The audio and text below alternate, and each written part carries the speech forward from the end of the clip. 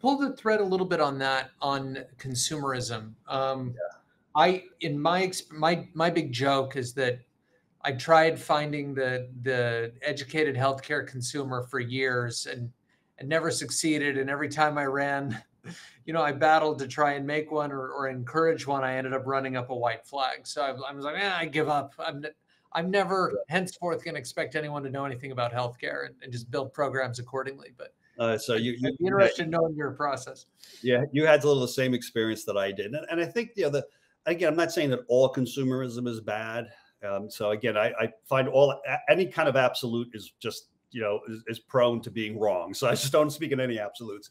But I think what happened, you know, at least my observation with consumerism, is it kind of became a little bit of a of a an easy way out for employers to say we can we can't make these decisions. We're just going to burden our employees with them. Yeah.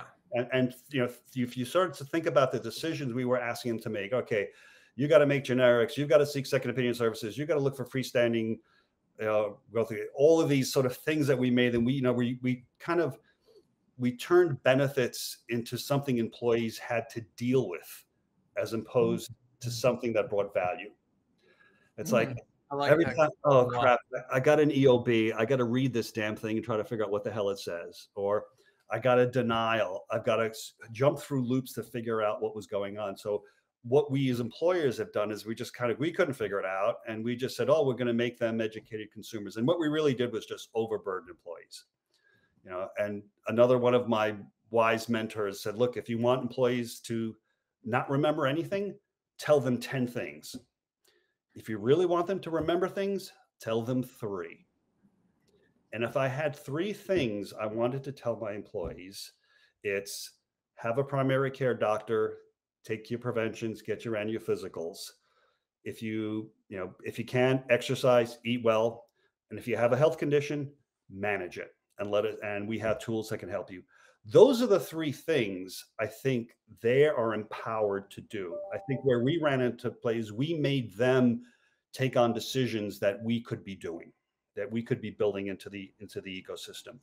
We should really push them and have them only make the decisions that they are the only ones that they can make. You know, we can't drive them to the physicals, but that so that has to come from them. But we can make providers implement second opinion services. Why do we have to make employees do it? Why can't you know? Part of our healthcare plan, any doctor that prescribe that prescribes spinal surgery, you know, hey, you know what, doc, you got to you got to get a second opinion before you can administer. Make it part of the healthcare system. You know, pri- you know, prescription drugs. Great idea. How did did they just recommend to their friend, or did they have to send them back to a, a service, or yeah, how did how did they do that? That's just fascinating. Yeah. So you know, uh, and, and even kind of some of the work we did on pharmacy, you're you're managing you know diabetes for your patient. your patient's A1Cs are below seven. year are they compliant?